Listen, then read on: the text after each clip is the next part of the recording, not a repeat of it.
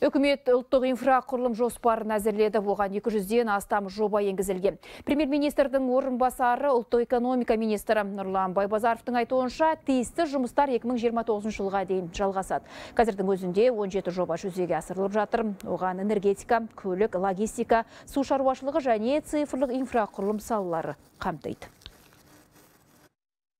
достық мойынты жобасы басталды. Былтыр алматыны айналып өту жобасы басталды. Сонымен қатар биыл жаңадан мақтаарал дарбаза аягөз бақты темір жолдары салынатын болады. Бұл жобалардың іске асырылуы еліміздің транспорттық транзиттік әлеуетін жоға көтеруге бағытталады.